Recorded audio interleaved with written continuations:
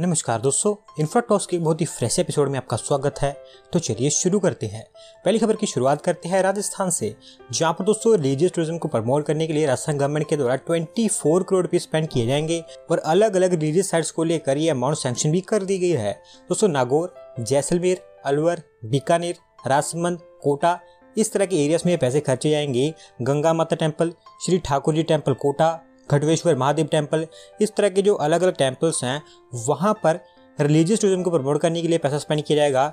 24 crore rupees में से 14 करोड़ तो रिलीजियस टूरिज़्म के ऊपर स्पेंड किए जाएँगे, जबकि रिमेनिंग 10 करोड़ रुपीज़ अलग अलग जो टूरिस्ट स्पॉट्स हैं, उनके ब्यूटिफिकेशन और रेनोवेशन के ऊपर स्पेंड किए जाएँगे। अगली दोस्त अपडेट निकल कर आई है US based cell maker international battery company से रिलेटेड जिन्होंने हमारे देश में उनकी एक गीगा फैक्ट्री की अनाउंसमेंट कर दी है और कर्नाटका स्टेट में बनकर तैयार होगी।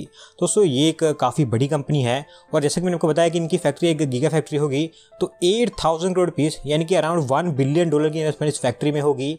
ये एक टाइप की नॉन कैप्टिव फैक्ट्री होगी, जहाँ पर लैंड प्लांट मशीनरी बिल्डिंग सब एरियाज़ में इस कंपनी के द्वारा इन्वेस्टमेंट की जाएगी। और अभी इस कंपनी ने कर्नाटका गवर्नमेंट के पास 100 एकड़ ऑफ़ लैंड अलाउड करने के लिए प्रपोजल भेज दिया है, जो इन्होंने देवनहल्ली के आईटी इन्वेस्टमेंट रीजन में आइडेंटिफाई की है। और अब ये कर्नाटका गवर्नमेंट के ऊपर है कि वो इस प्रपोजल को अप्रूव करते हैं और इनको लैंड देते हैं, फिर नहीं। बट मोस्ट ऑफली लैंड दी ही जाएगी, क्योंकि हमारी ईवी इंडस्ट्री को इस तरह की इन्वेस्टमेंट्स की ज़रूरत है। दो तक एस्टिमेशन है कि भारत को 150 गीगावाट ऑफ़ सेल प्रोडक्शन की ज़रूरत पड़ेगी, जबकि अभी हमारे देश में जस्ट 1.5 गीगावाट की सेल कैपेसिटी ऑपरेशनल है।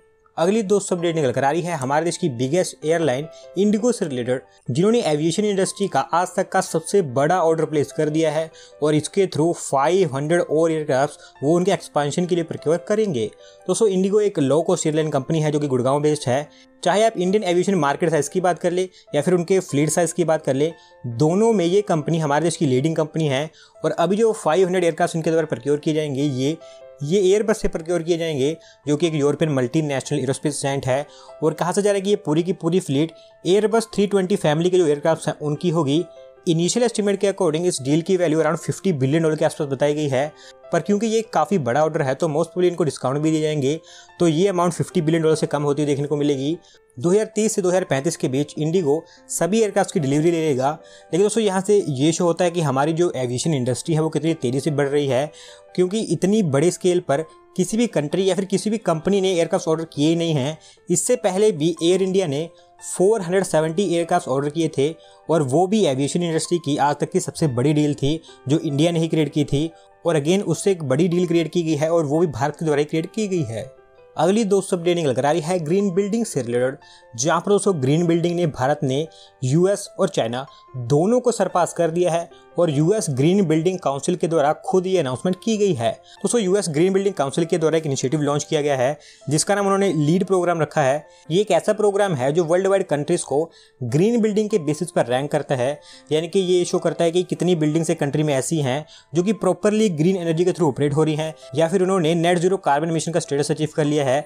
इस एरिया में अभी इंडिया पूरी दुनिया में लीड कर रहा है, क्योंकि करंटली यूएस जीबीसी के according 150 LEED zero certified projects announce किए जा चुके हैं, जिसमें से 73 तो इंडिया के ही हैं, जो कि अराउंड 45 परसेंट होता है। 47 यूएस के हैं, जो 30 परसेंट के आसपास है, जबकि 15 प्रोजेक्ट्स चाइना के हैं, जो कि ऑलमोस्ट 10 परसेंट होता है।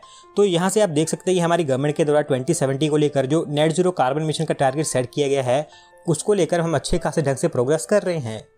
अगली दोस्तों अपडेट निकल कर आ रही है हाई स्पीड रेल कॉरिडोर से रिलेटेड जहाँ पर दोस्तों रेल विकास निगम लिमिटेड के द्वारा अभी हाई स्पीड रेल कॉरिडोर के फ्यूचर को लेकर एक स्टेटमेंट दी गई है। और इस स्टेटमेंट के अकॉर्डिंग अगले पाँच से दस सालों के अंदर अंदर हमारे देश में हाई स्पीड रेल कॉरिडोर के कई सारे रोड्स के ऊपर काम स्टार्ट होता हुआ देखने को मिलेगा। दोस्तों, फ़िलहाल जैसे कि आप जानती है कि Mumbai, Ahmedabad high speed rail corridor के ऊपर काम हो रहा है, जो कि ऑलरेडी डीले चल रहा है। सिमिलरली दिल्ली, मुंबई चेन्नई और कोलकाता। इनको हाई स्पीड रेल से कनेक्ट करने के लिए हमारी रेलवेज के द्वारा डायमंड क्वाड्रिलेटरल प्लान सामने रखा गया है। इसको गोल्डन क्वारिलेटर से कन्फ्यूज़ मत कीजिएगा। वो रोड्स और रेलवेज के लिए है, जबकि ये हाई स्पीड रेल के लिए है। इस प्लान के अंतर्गत हमारे इन चार मेगा सिटीज़ को हाई स्पीड रेल से कनेक्ट किया जाएगा। और दोस्तों ये कॉरिडोर एक टाइप के क्वाड्रिलेटर होंगे, क्योंकि इसके चार साइड्स कॉरिडोर होंगे, जबकि दो डायगनल कॉरिडोर होंगे। साइड में जो लाइन्स वाले कॉरिडोर होंगे, वो ऐसा नहीं है कि एक बार में ही बना दिए जाएँगे। बेसिकली वो भी पार्ट्स में बनकर तैयार होंगे। अगर हम न्यू दिल्ली को मुंबई मुंबई से कनेक्ट करने का एग्ज़ाम्पल लें तो इसके अंतर्गत सबसे पहले अहमदाबाद से मुंबई के बीच में कॉरिडोर बनेगा, जो कि बन रहा है। और फिर न्यू दिल्ली से अहमदाबाद के बीच में कॉरिडोर बनेगा। ऐसे में ये एक साइड कंप्लीट होगी। इसी तरह चारों सिटीज़ में भी मल्टीपल कॉरिडोर्स बनेंगे।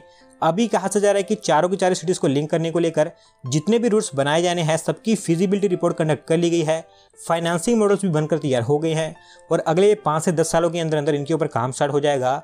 और अगर दोस्तों मैं आपको अपनी ओपिनियन दूँ तो मैं भी यही चाहता हूँ कि अगले पाँच से दस सालों के अंदर ही इनके ऊपर काम स्टार्ट हो, क्योंकि अभी हमारी मेजोरिटी ऑफ़ द पॉपुलेशन के पास में इतना पैसा नहीं है कि वो हाई स्पीड के जो हैवी प्राइसेस हैं, उनको अफोर्ड कर पाएँगे। लेकिन जैसे जैसे अगले कुछ सालों में हमारी GDP per capita multiple time increase होती जाएगी वैसे वैसे ये हाई स्पीड रेल हमारे लिए अफोर्डेबल भी बनती जाएगी।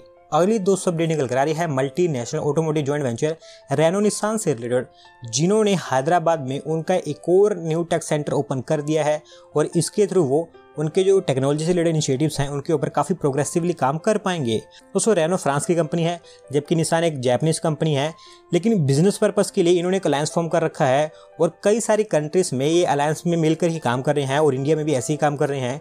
करंटली इनका जो सबसे बड़ा टेक सेंटर है, वो चेन्नई में है, जो कि आप कह सकते हैं कि इनका मेन कैंपस है। पर एक्सपांशन के लिए इन्होंने हैदराबाद में एक सेंटर ओपन किया है, जो कि इनका एक सैटेलाइट सेंटर होगा, यानी कि मेन कैंपस से काफ़ी छोटा होगा। इनोवेशन इंफॉर्मेशन सर्विसेज़ और टेक्नोलॉजी स्पेस इन एरियाज़ में इस इनोवेशन सेंटर में काम करेंगे। वो स्टार्टअप्स जो कि ऑटोमोटिव सेक्टर में काम करते हैं, उनमें इनोवेशन को प्रमोट करने के लिए इन्होंने टी हब के साथ में एक पार्टनरशिप भी अनाउंस की है, जिसके अंतर्गत टी हब और ये जॉइंट वेंचर दोनों मिलकर एक इनोवेशन प्रोग्राम भी रन करेंगे, जो कि स्पेसिफिकली स्टार्टअप्स के लिए होगा। पढ़ेंगे दोस्तों की अपडेट की तरफ़। जो निकल कर आ रही है आईफोन्स की मैन्युफैक्चरिंग से रिलेटेड जहाँ पर दोस्तों बैंक ऑफ़ अमेरिका के द्वारा आईफोन्स की मैन्युफैक्चरिंग को लेकर एक रिपोर्ट सामने रखी गई है और इसके अकॉर्डिंग अगले फाइनेंशियल ईयर के अंदर अंदर आईफोन्स की 18 परसेंट प्रोडक्शन भारत में ही हुआ करेगी। दोस्तों अक्टूबर 2020 से पहले हमारे देश में आईफोन की प्रोडक्शन ऑलमोस्ट नेग्लिजिबल थी, लेकिन पिले स्कीम के चलते हमने देखा है कि ओवरऑल जो आईफोन की प्रोडक्शन है वो हमारे देश में काफ़ी तेज़ी से बढ़ी है। अभी के समय में ओवरऑल आईफोन प्रोडक्शन में भारत का शेयर सेवन के आसपास है। अगले फाइनेंशियल ईयर में ये 18 परसेंट तक पहुँच जाएगा, जो कि काफ़ी बड़ा जंप होगा। उस रिपोर्ट में मेंशन भी किया गया है कि ये उन्होंने मिनिमम मार्क बताया है।